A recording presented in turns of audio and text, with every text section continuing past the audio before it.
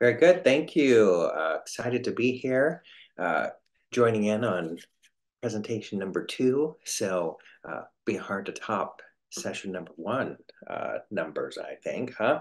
Uh, the thinking here of this particular session is is really a whole lot around um, aligning aligning our efforts.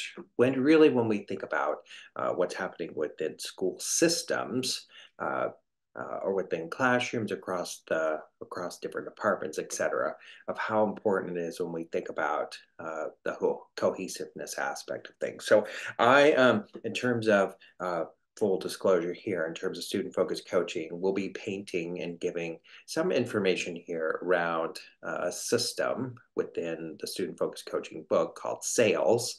SAILS uh, includes five different systems, essentially. And that starts with uh, the first S is about standards, then it's assessments, then it's instruction and intervention, leadership, and sustainability. So each of those being different systems that we can consider as we try to uh, try to align effort. The other part that I'm gonna uh, work through and spend a good amount of time on is what we call the collaborative problem solving process.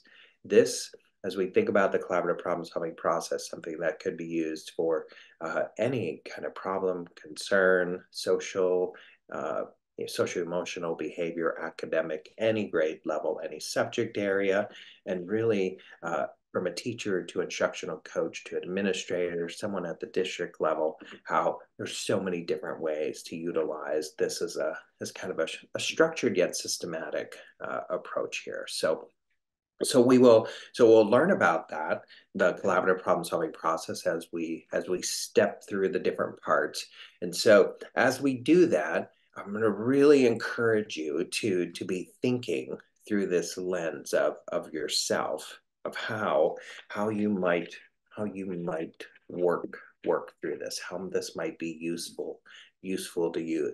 But but to really stick with me for a bit as I go through these different phases and, and talk about this, and then we'll pull all the pieces together when we think about how, how when we look at student data, student evidence, how that really can help to ground, ground the work and what we're trying to achieve to enhance student learning. So uh, maybe give you some time as well to just think through uh, the process uh, for a phase one problem. I inserted in the sample set of, of data just to show how mm, just looking at one report is, is never enough how we, we always have to be thinking about multiple sources of student data and evidence before we, we jump in to try to uh, come up with solutions. And then we can think about how this could actually be used by, by various individuals. Uh, when, when submitting the proposal for this session and trying to connect and thinking about the relationship here is, is just did align it, align it with um, the assessment standard of how, how we really do take and and use the student data and evidence to to try to really summarize what it is that that we're trying to to work on.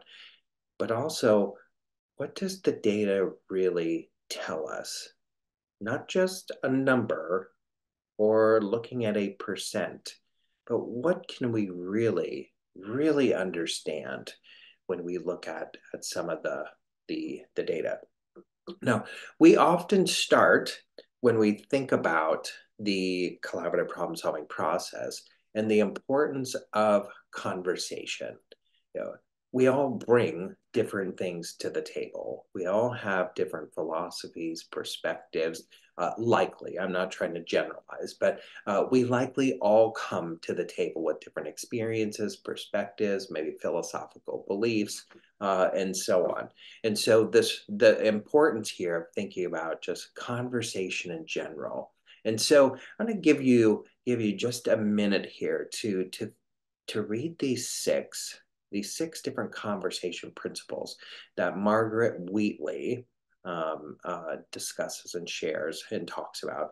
And then, and then I'm going to go through each of these, uh, just to kind of some of her own thinking to share how important it is that when we get into these conversations and thinking about student data or evidence, that it can't just be one person and one person making sense of it.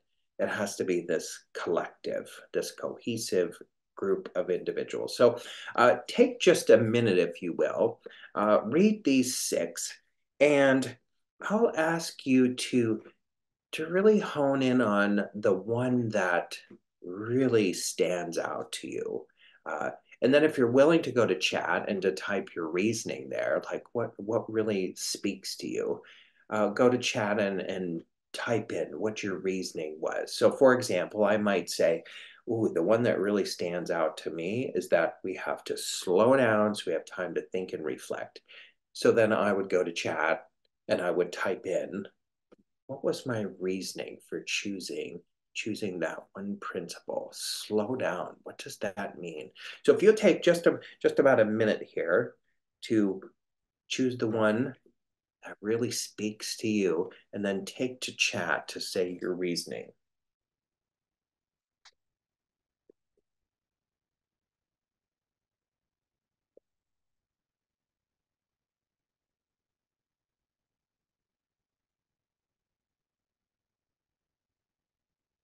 or you can come off mute, just tell us to. That's fine.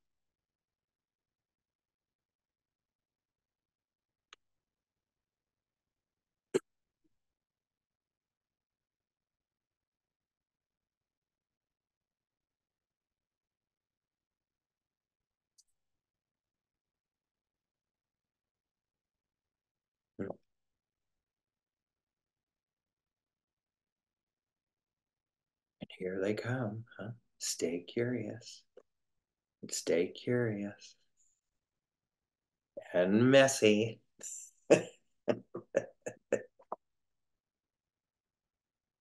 yep.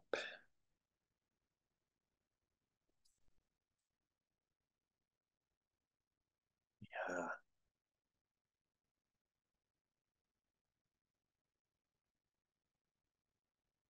Natural. Thank you for for continuing. Feel free. Keep keep uh, adding here as you go. I find this to be just such such an interesting way to to sometimes open up uh, with individuals to think about our own our own way of of communicating with others, the actual conversations that that we that we allow to happen or that we kind of squash really quickly because I'm in charge and I have the answers. I've got to tell you how to to do certain things. So I'm going to give you it's a little bit of information here. Uh, so as well, this comes from this this uh, this book called uh, "Turning to One Another: uh, Simple Conversations to Restore Hope to the Future." Uh, this was introduced to me in 2006. I want to say when I started my PhD, and I thought when I first when I first got this book and started to flip through it, I thought this is a this is the book we're going to be using for for this PhD course. Like, well, this is this isn't hard reading, and and some pages just have hardly anything on them. Uh, however, the depth of the of the text. It's so rich and insightful but forces you to have to really ponder some of some of these things. So here's what margaret wheatley says.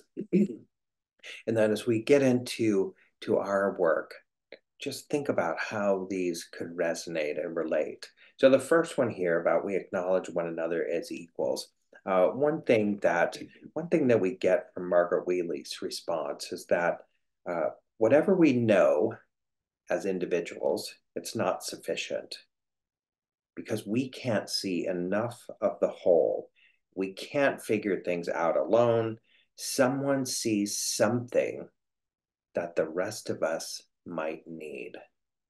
How powerful that is of Margaret Wheatley here, uh, saying again, uh, turning to one another I can put this in, in chat as well here after a bit or a link to it, but by Margaret Wheatley, Simple Conversations to Restore Hope to the Future.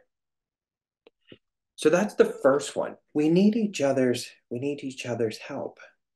The second one about being curious, in coaching, whether you're you have a title of coach or whether you are in a role of some kind of administrator, the thought that being curious is so, so important because curiosity, she says, helps us discard our mask and to let down our guard.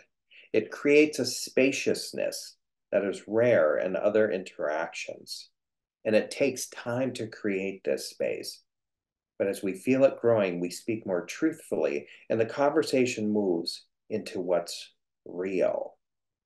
So we have to remind ourselves that everyone has something, something to teach, whether I agree or, or disagree. Everyone has something to teach. So holding back and being curious. The next one, we recognize that we need each other's help to become better listeners. That often we might be or feel like, oh, I'm so certain of of the decision here, what we should do, or maybe there's uh, the the feeling of we're just too stressed and and there's just no time. We just don't have time uh, to listen. But what Wheatley would tell us here is that to acknowledge somebody else is, is we have to learn how to listen and that that's really hard work sometimes to learn how how to listen. The third the fourth one sorry we slow down is that listening is one of the skills required for good conversation. Slowing down is a second because conversation when we think about this helps to create conditions where where each of us really can rediscover this joy of being able to to think together and if you think about slowing down and taking the time that many many of us get an opportunity then to contribute to, to conversation. The next one is remember that conversation is naturally humans think. Language gives us meaning uh, the meaning to know each other to know each other better.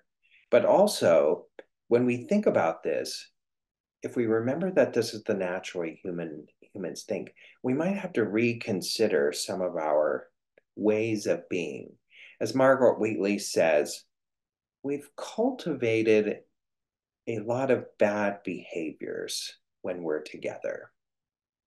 Speaking too fast, interrupting others, monopolizing the time, giving speeches.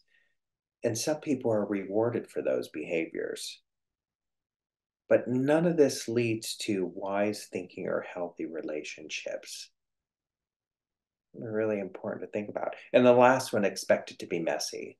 You know, life doesn't move in straight lines, and neither does a, a good conversation. When you think about how, with conversation, that everyone should have a chance to, to be heard. And when Wheatley talks about this, is that each person then gets a, a unique opportunity to be able to share their their own perspectives. And if we jump in too quickly jumping in too quickly to try to solve problems we don't really get enough of enough of the of the whole picture. So realize that conversations um, can be can be really messy. And the practice of this is conversation takes courage needs to allow for risks, but it also takes takes time. So I'm going to challenge you here to think about to think about these different principles here, but also it's going to be really interesting to maybe with your own colleagues whom you're working with, uh, for your leading a building, whomever, or even for students to think about this with students of what conversation could really mean in their in their own if they were to understand these. So in the student focused coaching model, uh, three different roles that we really think about, but this one, the collaborative problem solver role, is the one that is as a centerpiece. And this one as well that really requires us to think about conversation. And you see it in the bottom right hand corner, but I'll put a larger uh, visual up here, the figure.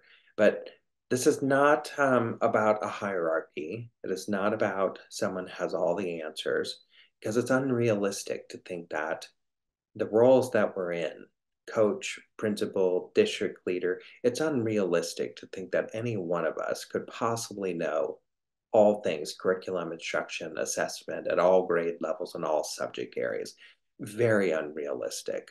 So, how do we continue to think about bringing in that voice of others and to really engage others as we think about whether it's an academic behavior or social emotional problem? How can we work together to think about what a problem might be and then to think about how we then go about defining goals and thinking about a focus, an area of reform that we might that we might target. So think that there are no no quick fixes. There are no quick fixes in this the collaborative problem solving process as we think about this uh, four different phases but this is really meant to be fluid. It's meant to be flexible. It's meant to be versatile. I as a coach or someone in a principal role it's about helping to manage but there's no cycle included in this. There's no we start at one and go to four and if it didn't work go back to one. No. Uh, this is all about putting individuals uh, to empower them to have these authentic conversations.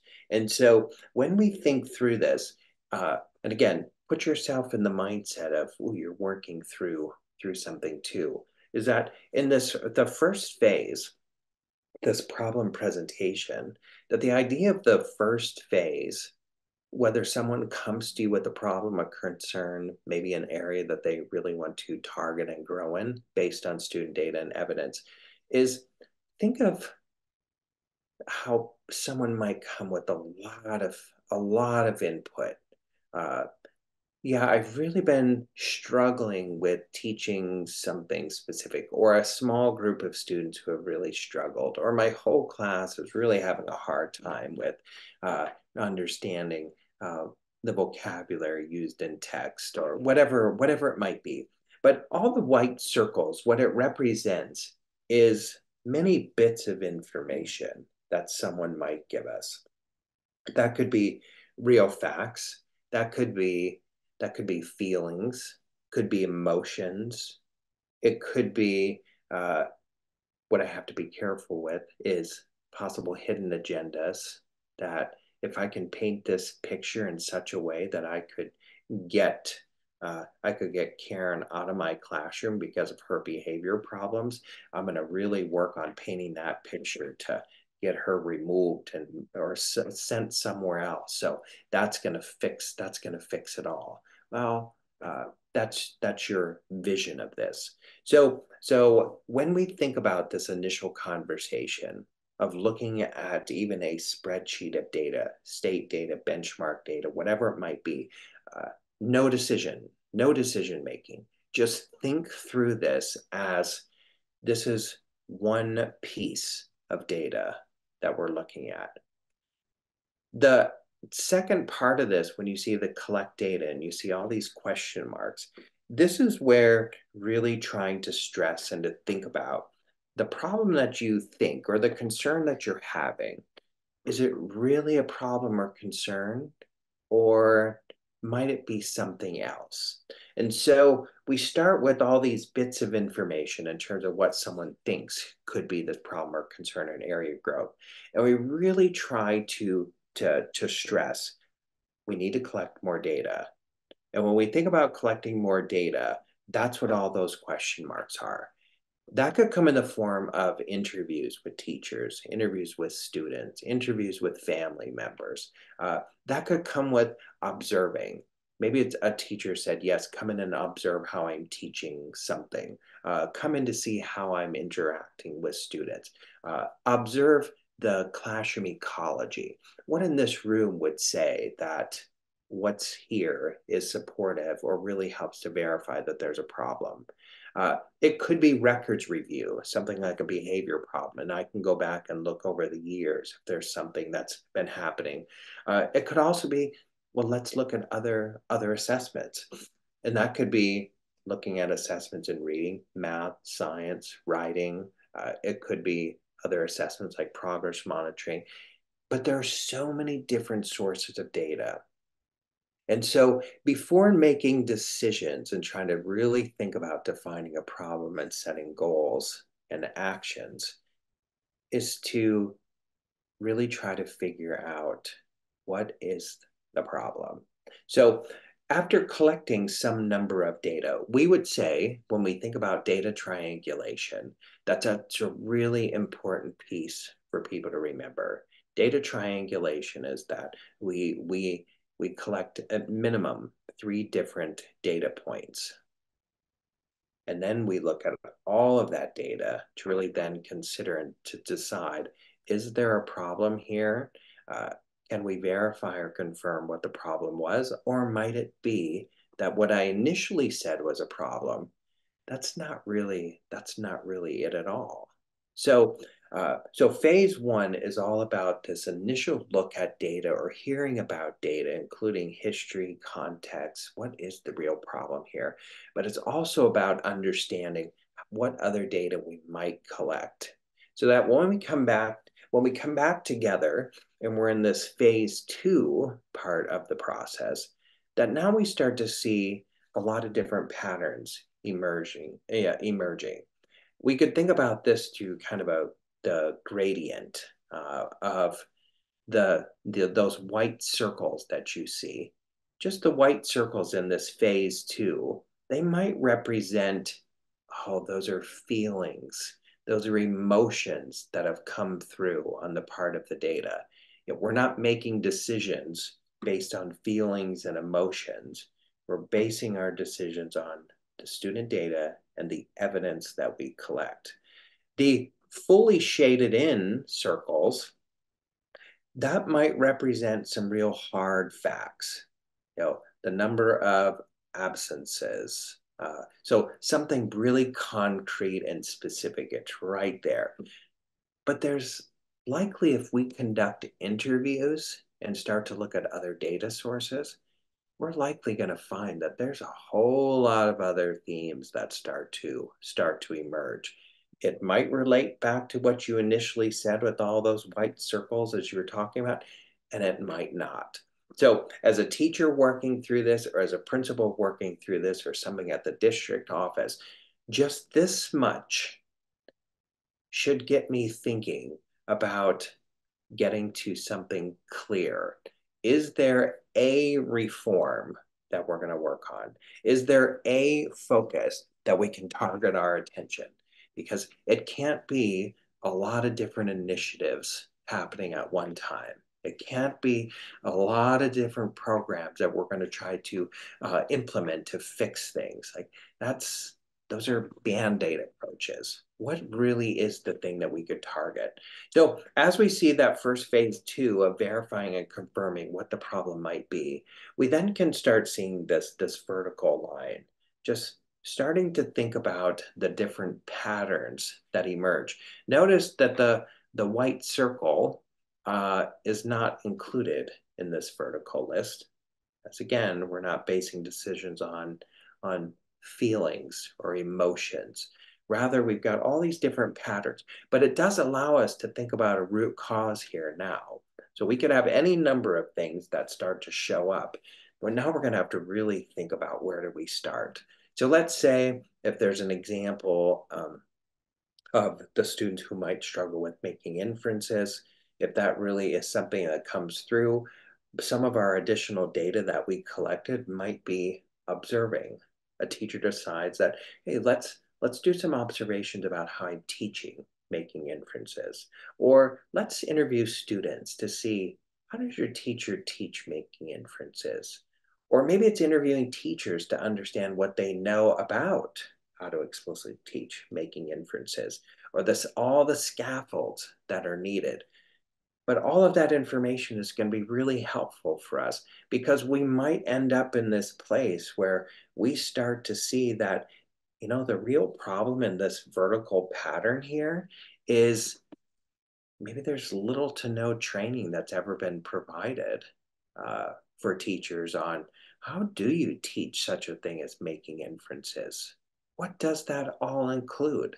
So our root cause might end up being something around, hey, we got to get to this level of general academic vocabulary as a focus that's going to help us then uh, over time get to this place of helping students make inferences. But there's a lot of thinking, the conversation that has to be involved here. So if we can get the problem written out and define what the real problem is, then we can start to think about a goal or goals that we want to explore. So if we said that something in that about the problem is about uh, explicitly teaching general academic vocabulary that's going to help increase reading proficiency or lead to uh, better comprehension, well, then our goals would have to align with that. And that might mean that there's going to have to be, uh, if we're going to increase student performance, what's that actually going to look like? Not for goals that are set from beginning to end of year, but maybe they're goals that are like four weeks or six weeks or eight weeks. And we create then an action plan that now helps us to think about how will we get to that, achieving that goal to solve this problem. We can't wait to the end of the year to figure this out. But an action plan would then include a number of strategies. This is again an opportunity to say, yep, our problem here is about academic vocabulary. Our goals is like we want to see how uh, training and support can increase this in terms of student learning through teacher sustained professional learning, uh, through opportunities students have to engage or to really think about and apply general academic vocabulary. And so when we start to think about strategies for an action plan, we can all contribute to that. And someone might say, I go, I found this really good activity, this worksheet on this one website, and I pay for it and I implement it. Uh, I really like it, but I don't know if it works. Well, we're going to still validate anything that anybody brings, including evidence and research based practices. Because in this phase two, what we want to do is to, yep, we'll validate everybody's ideas we're going to choose a strategy, but we're going to take that strategy, we're going to apply it to the goal. If I were to have students complete this, this one worksheet, is that really going to result in the achieving of that goal? Mm, likely not. So we can cross that off the list. But there's an opportunity here to go through and really evaluate, really evaluate the types of strategies that we want to implement. Uh, the goals, it's not about how many we have, it's about identifying that goal or goals that are really going to help us move this one focus forward. Not many, but maybe one. So we get our, our goals here set. The goals would include the who's going to do what, when, where. Uh, that might be when we think about coaching that could be a department chair in a high school who helps to lead their departments through sustained professional learning. It could be a grade level lead. It could be an aspiring leader. It could be a principal. There's a number of, of ways to think about who's going to be part of this.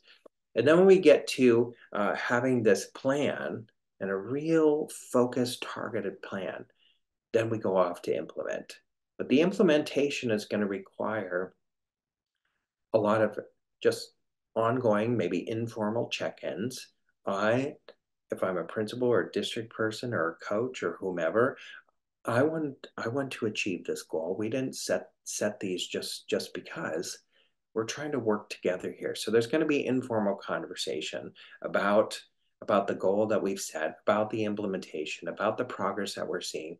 But there's also during this time in which we're going to have to think about providing some differentiated sustained professional learning, whether that's some during our uh, a grade level or department meeting, whether it's during a faculty meeting, whether it's at the central office providing trainings for teachers or principals, uh, all these things that get us focused in on what it is we're trying to do. Uh, that can be really hard work because it's easier to do a one size fits all approach and everybody gets the same thing. That can be a much easier way. Uh, that doesn't really always help to move the needle forward. Uh, when we come back together then in phase four, this is our opportunity then to think about, uh, did we achieve the goals? It shouldn't be a surprise to us because we've been informally checking in here and monitoring we've been providing this sustained and differentiated professional learning. So it shouldn't be a surprise when we get to the end to see whether or not we've we've attained or achieved what we set out to do. In some cases, uh, yes, we did. In some cases, like you see for goal two, that's not checked off here. Doesn't mean that uh, we're not close, but it might mean that we're going to come back to that list in phase two that we started. Uh, and maybe we, we choose a new strategy. It might that be that we decide we need a little more time, but it's never about in student focused coaching about a cycle that we're that we're working through. So if to just sort of recap, when you think about this this first phase, so I'm trying to understand the description, the context, the history, uh, what someone brings. I think about all the possibilities of data collection, minimum of three here, data triangulation. We're trying to see patterns that emerge. We're trying to verify uh, and, and really understand whether or not the problem exists. And then, you know, understanding that we're not trying to change people's philosophies, but we can continue to build knowledge based on what we know. Uh, things that we get to understand from whomever, a teacher, a grade level, a department, a whole school. Uh, the problem here, the concern that we brought forth. I mean, is this something that has gotten worse over time? Uh, what have we tried in the past? So if it's something like general academic vocabulary, performance in this or making inferences or whatever it is, uh, what interventions have we tried for how long and who's actually delivered those? Is it one person? Is it all of us? Do we have a sustained way that we're all focused in on doing something similar? Uh, really important in terms of, of this connection. Uh, often, if we were to think about behavior type work or even academics, you know, looking at some of those those records about attendance, uh, and that fourth bullet I think is always important is to think about if we were to interview students or even to look at their own academics, if they do some, if they do well in in in a different subject, what's the reason? Is it how the teacher delivers things? Is it how the teacher sets things up? Uh, who knows? I'm not trying to assume and I'm not generalizing. I need to get to those sources to really understand what it is they're thinking. So, as a qualitative researcher, who I am, uh, uh, just looking at the quantitative aspect, the numbers, is never enough for me. There's there are way too many stories behind those faces uh, to get to to really try to understand. So we also say Jan and I when we were writing student focused coaching is that you know as a coach, again, could be another teacher, aspiring leader, department chair, coach could be in the position of a leader, is to uh, really think about our communication skills that we're using, really being being in the zone with the conversation, to listen intently. We talk about this person with two imaginary brains. You have this front brain with a mouth for a reason. You can ask questions, you can paraphrase, you can summarize, all these other things that you can do right here. Uh, but on the backside, really being cautious. I'm skeptical, I'm unconvinced. There could be hidden agendas here. That's why in phase one, we're making no quick decisions. We need to figure out other types of data we're going to be collecting. So here is a, a sample here uh, recently. This came from, from a school there uh, in Ohio. Uh, this is a report I did to pull. It's a sample. But this is one of these examples where this is not near enough information from my viewpoint to say we can make any decisions. This might be something that someone brings forth during during a phase one conversation uh, to say, mm, this is a this is a data set here that we have. Yeah, when you look at this, what does it really, what does it really tell you? Hmm. It's third grade. I can see these different patterns and the different ways that students are categorized here in terms of scoring from mid or above grade level all the way to three or more grade levels below. I can see that on the the bars there, the patterns. Another thing I could talk about here, what stands out is that, and we do have uh, some students here who who are still struggling in the area of phonics in third grade. That's that's a problem. We do have quite a few students here who are not mid or above grade level in something like vocabulary And then we have that comprehension piece. But so if we were looking at this and thinking about, yeah, we can't make a decision here. I mean, how, how could we? What would be the decision that we would we would make? Where where would we start? So so we would start to seek out some some additional infer oops some uh, additional information. And that might be observing a teacher teaching phonics or vocabulary something in comprehension. That could be talking to students of what is it that they do to learn about vocabulary comprehension whatever it might be. That could be looking at school ecology. If you walk through the hallways, would you find that there's a lot of rich vocabulary used? Uh, or would you find that really the idea of language rich is meant for in the classroom? I don't know. That's something that would have to be would have to be thought about.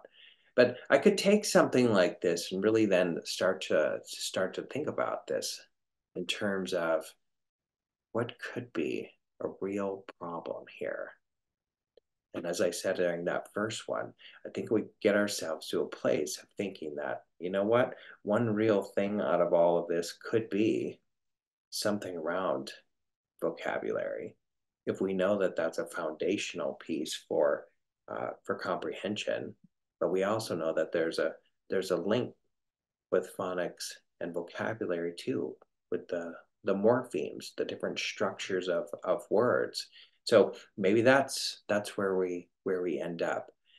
Uh, so that being the first part, and then getting to this place of the definition, the goals, thinking about our our action plan, and then how are we going to to support this, uh, the implementation, and being able to really be able to continue to provide that ongoing support and learning. And so I want to pause here for for just a moment to see if there are any questions thus far about this, whether you're a principal, a teacher, district level, uh, doesn't really matter. This could be a way for you to dive into and really try to identify a a focus to really really support and as a principal it's also become a way to think this could really be a, a way for us to identify what our professional learning community will be all about. Because PLCs, yeah, uh, a first step is to have meeting time, but that's not a PLC. A PLC, as a professional learning community, we would have an identified area that we're really trying to hone in on, and then think about that ongoing learning uh, that could happen if we were able to step through and create some kind of plan. So, no, just let's get a lot of goals in our campus improvement plan for compliance. Let's get really streamlined. So, any uh, thoughts, questions, responses thus far uh, from the collaborative problem solving process before I then go into the SAILS framework? That could be a piece that's really part of of the phase three with the ongoing support. Any questions, thoughts, comments? Feel free to pop those into the chat box and we'll make sure that Dr. Mickle can see those. Oh, Megan says no, makes good sense to her. Great. Thank you, Megan. Appreciate that. Uh, all right. So yeah, keep them keep them coming if you have things. But this would then help us to see in that third phase the SAILS framework. Uh, when we think about the SAILS framework in these five different systems, uh, each of these, each of these uh, plays a really critical role in terms of our work. And when we think about these as systems, you know, if we were to say that in that collaborative problem solving process that, yep, something around general academic vocabulary is our problem, that's how we set our goals, and then these are our actions. Well, if we were to say that, then that would mean in the standards portion, if we really thought about standards with vocabulary, do we have a system in place for how we really look and think about teaching general academic vocabulary. You went up and down the hallways and asked different teachers in your building, or you talked to different teachers throughout a district. Would they say that there's a way? And by a way, I'm not talking about we look for nouns and verbs and that tells us, because to me, that's very superficial, not near enough in terms of the thinking of this. So if we don't have a real clear way of engaging other people in terms of thinking about standards, then it's going to be really hard for us to assess that standard at the appropriate levels of thinking or rigor because we don't we don't necessarily know the standard. So assessing is going to be really hard to get valid and reliable and useful results.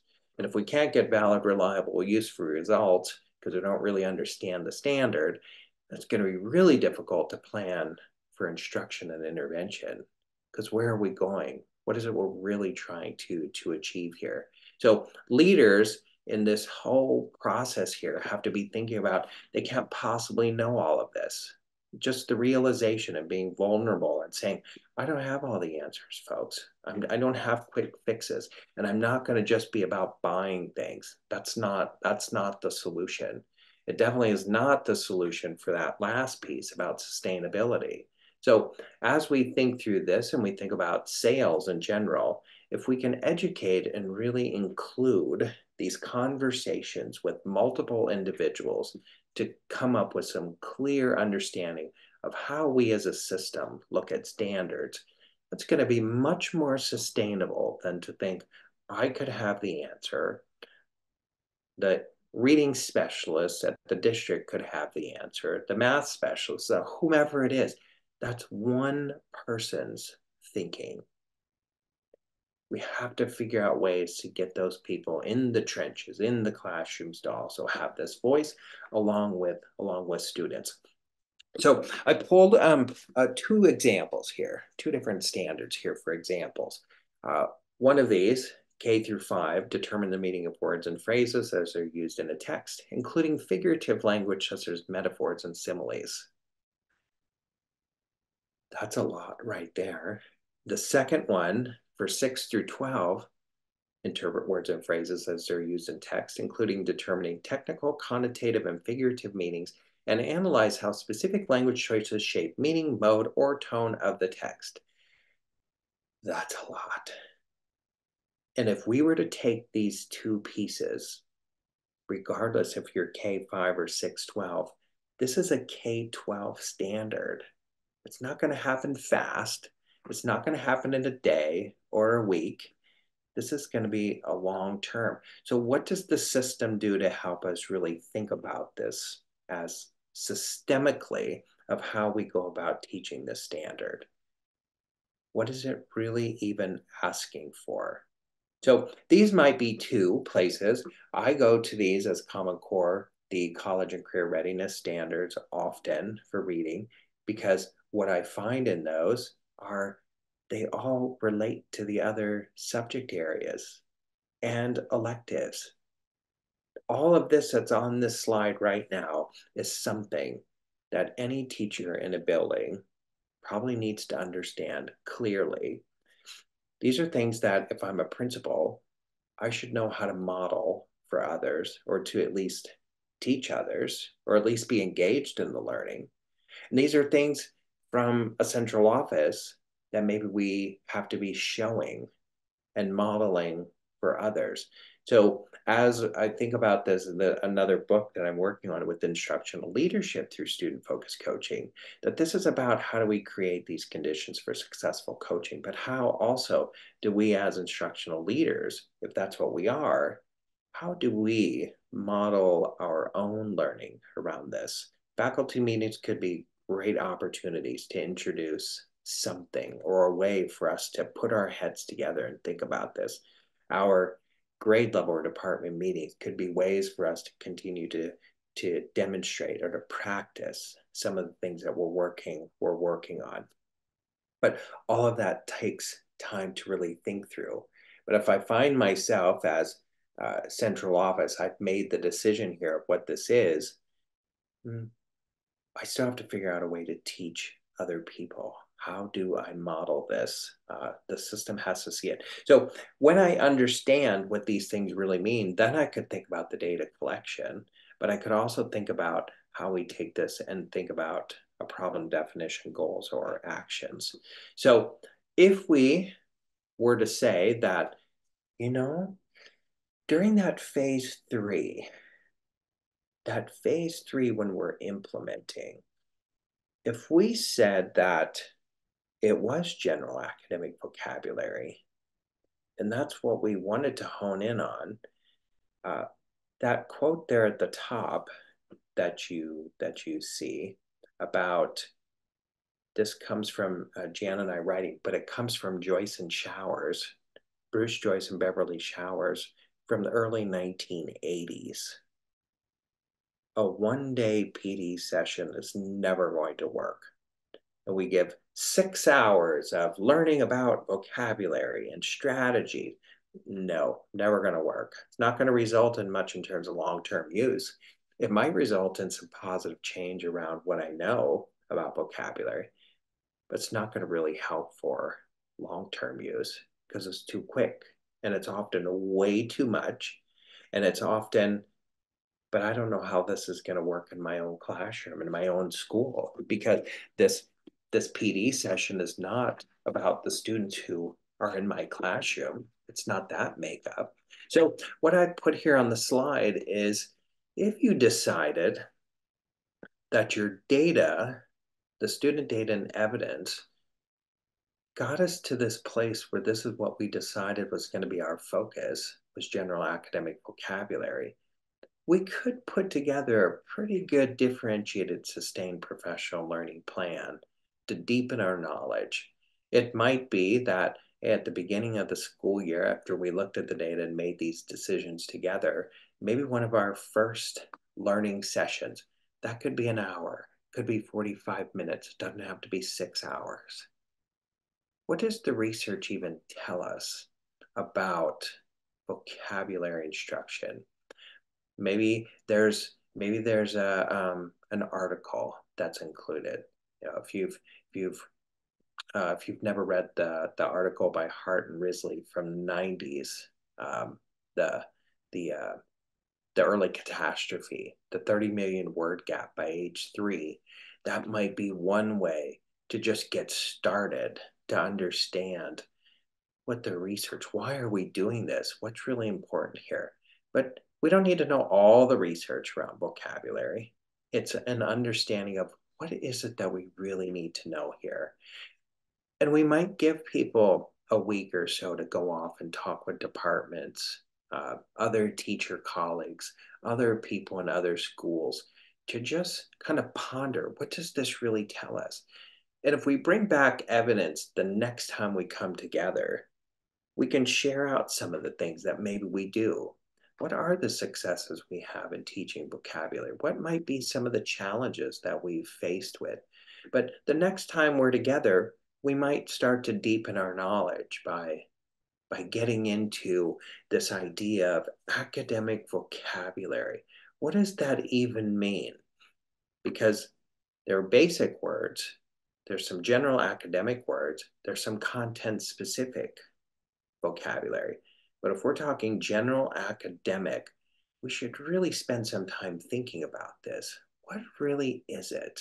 And if I then said, you know, for the next week or so, just kind of look look through what it is that you're you're teaching. Are you teaching more general academic vocabulary or mostly content specific?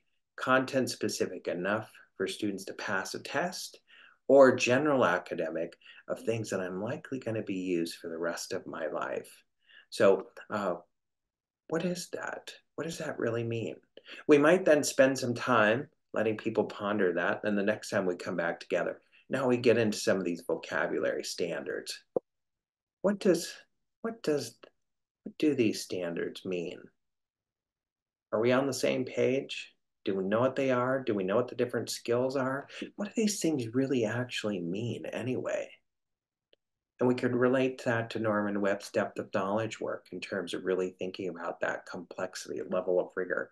Uh, but then send people off. Hey, between now and our next time together, spend some time in your own vocabulary standards because every subject area, elective, all levels have vocabulary in their standards. And if you wanted to spend even more time to look at, look at your own assessments that are administered. Look at a math, a state math test that students take. You don't read word problems that only consist of mathematical content specific language. You have a whole lot of general academic vocabulary on those tests. And if I can't figure out the meaning of those words, that's going to be hard for me to do any procedure. So we might come back the next week then and we share out some of the things that we've learned. What have we noticed? And maybe then the next time we dive into this tiered vocabulary. Tier one, just basic vocabulary. Most kids come to kindergarten with some of that knowledge. Can be taught through visuals, actions. Uh, tier two, general academic vocabulary. Uh, and then tier three, the content specific. We could go off and look at our own core programs what is the vocabulary that's taught here? How are we teaching this? Which words would we want to choose in terms of that general academic? Hmm, maybe we bring some things back. The next week we could talk about disciplinary literacy. How are we teaching vocabulary in all subject areas? Is it similar? Is it different? Do we always do the same thing? Frayer model every time for every word? Uh, that's fine to use, but some differentiation might might be helpful for some as well the real life connections, but is there a system for how we do this?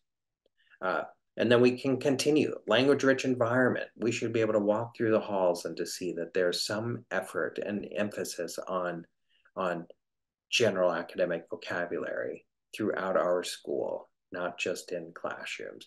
Then we might move into how do we explicitly teach this?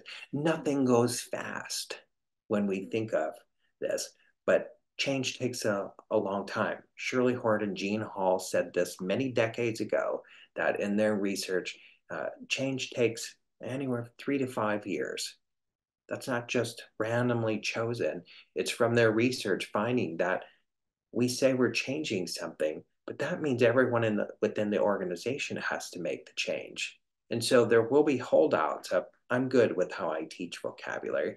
There are going to be others who are all on board that I see that there's a real need here. But but think about the impact of what this could do in a system if we all had a common focus and we used our available time to keep studying and learning it's not just informational time. I studied meetings for my PhD, meetings in schools, and I'll tell you just from feedback from people of how, uh, no, there's some of the learning of, yeah, you can't really send out memos or emails because people won't read them. And, you know, there's also, though, the opposite, but you could have everyone sitting in front of you and not not listening to you at all. So why not be proactive and think about every use, every time you have available that we use it for learning? That could be a power. There is time. It's likely how we use the time to, to dive in. So if we were to say that we were doing this over the course of our four, six, eight weeks, because we're really trying to enhance and really think about this area of general academic vocabulary and how we could tie in the phonics piece with the morphemes, etc., but also how this could impact the knowledge base about vocabulary and the decoding part, the impact it could have on fluency, the impact it could have on comprehension. Uh, how powerful, powerful is that? So when we get to the end of this, uh, depending upon what we've decided, we should have a lot of other data that we've been looking at along the way to see whether or not we've we've been able to to really take and think about how this how this all could could work. It'd be a really powerful approach. So uh, I'm curious here at this at this point in time if there's any uh, brave individual out here, or if you're willing to go to chat and to think about in your own role, if you are in a district and you wanted to use this process, what might you do? How might you go about using this process? Getting yourself focused. It's not we have a reading initiative and a math initiative and and a special ed initiative uh, and just it's just one initiative in reading and just one in math. yeah but if i'm the first grade teacher these are three new things that you're expecting me to learn and to learn really fast uh, mm, that's that's not going to work very well. Uh, so if you're in a district level and thinking about initiative hmm, how might this support that learning? If you were a principal how might how might you take some of the state data maybe that you're getting back now and end of year data and to think about planning for next year? If you're in a coaching role how could you see yourself using the collaborative problem solving process with with a teacher who wants to do more coaching with you or a department. It's not forced. Nobody has to go through this but but it could be a real way to to allow um, others to have a lot of input. But also as a teacher, just think of it as a teacher using something like this with students. When you look at planning for uh, a particular unit or something. Anybody willing to um, uh, come off mute or go into uh, to chat to say how they could see this being used in in the role that they're in?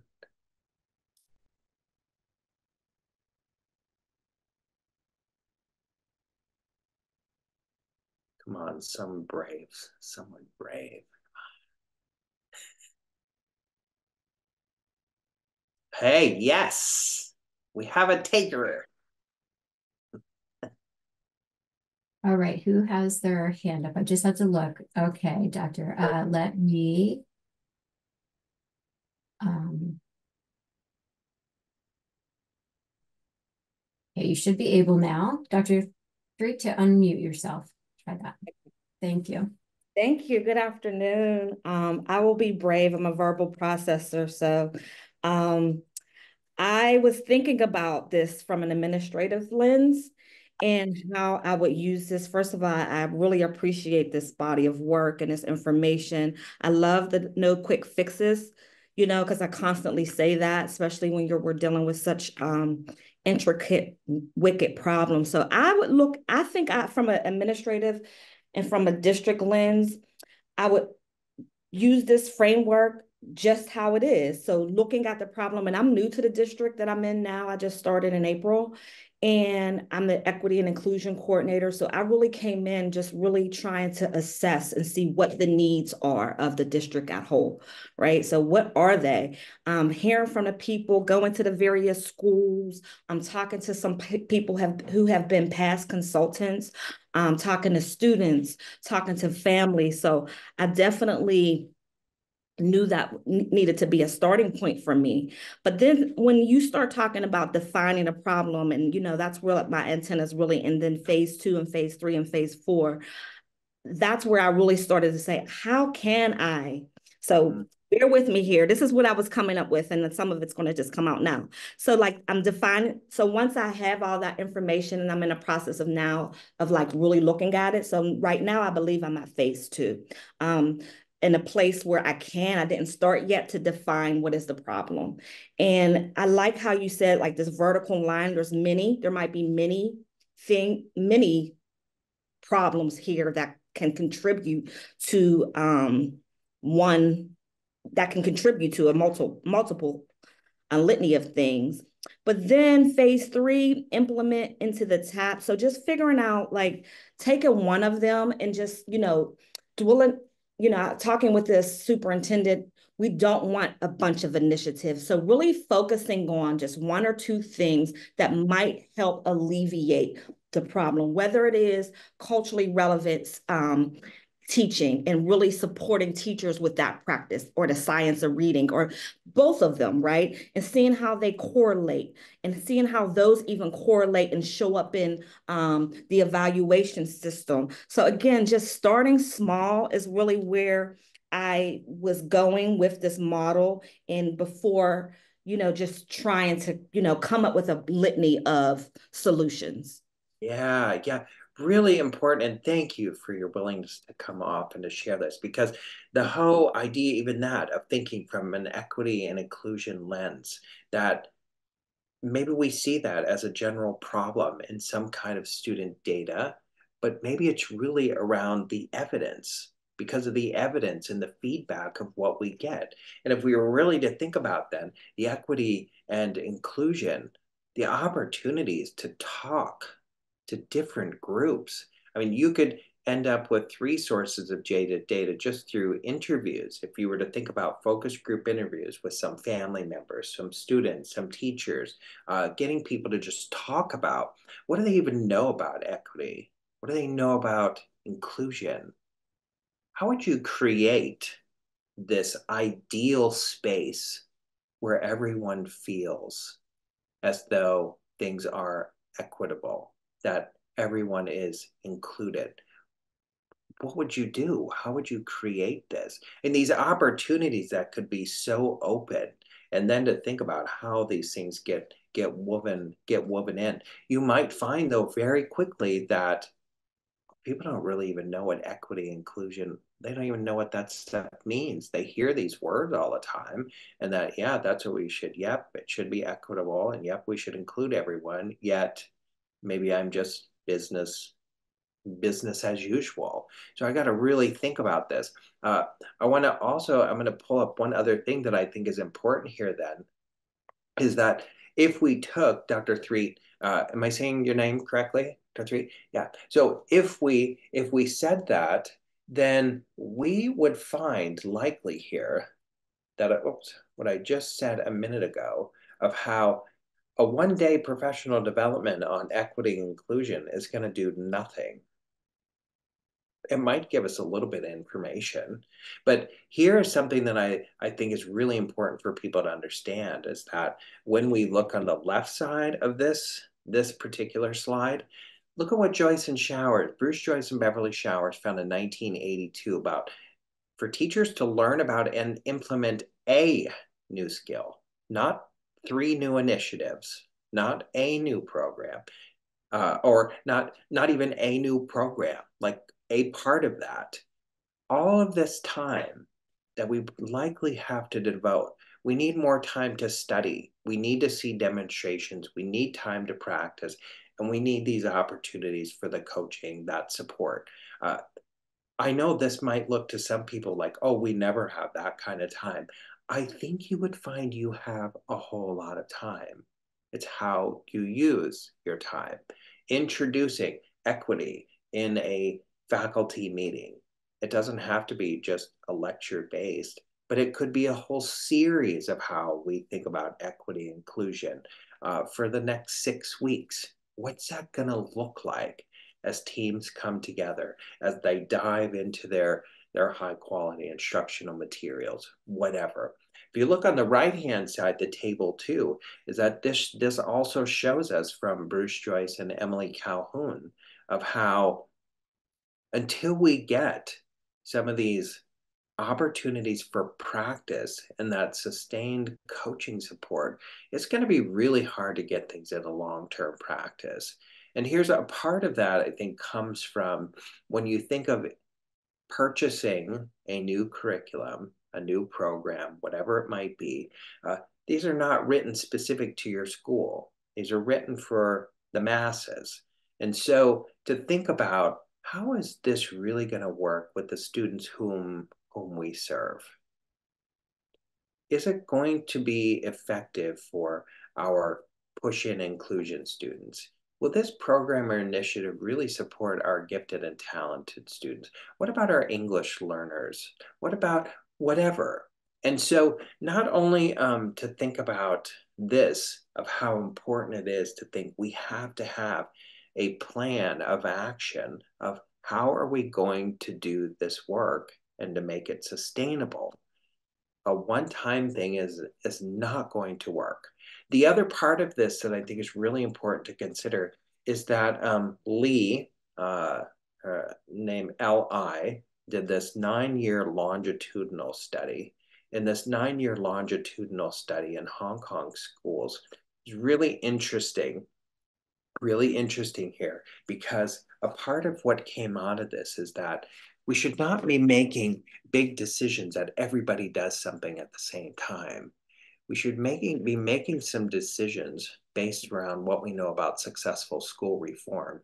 And that is that we focus and build, we start small. Ah, we learn about this equity and inclusion from, from your example there or general academic vocabulary. Uh, we decide on something that maybe from what we've learned and the data that we've collected now or the evidence, hey, here is something that we might try but we're not going to spend lots of money and stuff on this until we know how it works. So we're going to seek out maybe some of those early adopters, some of those eager and open individuals who can help us to pilot something. Let's test this out. Let's really think about how this is going to work within the classrooms, uh, the classrooms and the students whom we're serving. Let's gather some feedback here from the teachers. Let's gather some feedback from the students as we implement something, something new. And then if it's working and we're seeing that the data uh, is showing that, oh yeah, there's some real results here. This really might work. Then we can gradually scale up. But I do often think that the quick buying of stuff that everybody has to do is, is that the best decision? Knowing that who are we serving and who are we working with? That's not to say we won't get there, but eager and open, focus and build, gradually scale up. You get to deepen and broaden that reform. You get to tackle challenges as as they arise, but you get to tackle these challenges with with others. And it's not forcing everybody to make a quick change because I'm really comfortable in what I'm doing. Yep, get it and that would be supported in the change theory. Three to five years. Some people it's going to take a lot longer to see. But for those early adopters who start to really see results if it's working wow they're going to be the people who we're going to tap into as our our positive testimonials. Those who can really say that by doing this this this is what's happening. Uh, that then often helps to get other people to want to learn a little bit more. But but when we think about this as just the whole collaborative problem solving process, that yeah, our our main thing here is to to oops, our main thing here is to to let's let's get ourselves focused first on what is what is the reform, what is the the focus, what are we really trying to achieve, and let's collect let's collect the necessary data here to to really identify and show that that this is something that we need to to target. But we're going to ground it in student data and evidence and multiple sources. So here might be uh, a few things that you could take you could test out as you as you go on from from this session is is maybe just starting with i mean is there a problem a concern uh, or maybe something that based on student data and student evidence, something that I, I want to improve upon. Doesn't always have to be a problem. But but it's also this isn't about feel good. Like I want to go through the collaborative problem solving process, but I really want to, I'd really like to get better at my reading center. Yeah, for what purpose? What do you want to get better at your reading center for? What does the data and the evidence have to do and tell us that I need to do better in that center? Uh, so think about this problem, concern, or, or area to improve upon. What data might you collect? And really look to see what could that tell you before any quick fixes, solutions, quick band-aids. Or maybe you think about this through a school administrator and instructional coach as they work through this to say, hey, here, the next six weeks, because this is our focus, this is what our differentiated, sustained professional learning is going to look like doesn't have to be a one size fits all, but it does take time to plan out how to differentiate things. Yes, it's easier. Everybody gets the same thing. That's not always the most effective way. Uh, maybe I could think about this through the implementation, how the process could align uh, what everybody what everybody is doing. How are all stakeholders helping us to really close this this gap that we've that we've found? Uh, or even just thinking about with families. Are there ways that this could could be used? So uh, our goals here for for this particular session was to yeah really kind of think through and introduce you to the this four phase collaborative problem solving process uh, thinking about how the SAILS framework, standards assessment, instruction and intervention, leadership and sustainability could be could be used as we really try to get a good grasp.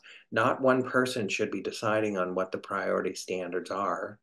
People have to put their heads together and really make sense of these. And yes, it is important to understand multisyllabic words.